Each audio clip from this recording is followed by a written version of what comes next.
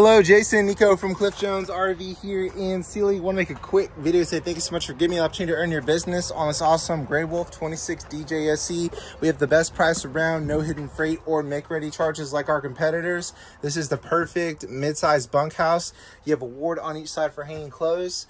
Uh, North-South camper queen bed here, privacy curtain, jackknife sofa that also converts into a bed, dinette that also converts into a bed, two double bunks here with Cherokee have individual reading lights and USB on the top and the bottom. It's got a large bathroom here with a tub shower combo.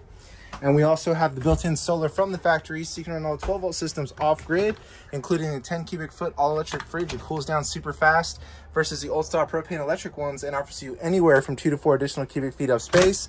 Residential power microwave here, three burner cooktop with the glass insert for additional headroom, large oven here and it does also have the farmhouse sink which is stainless steel much more sanitary than plastic. We've got it in stock here jason. I'd love to serve you at the highest level on your next rv give me a call give me a text 979 413 9554 thanks again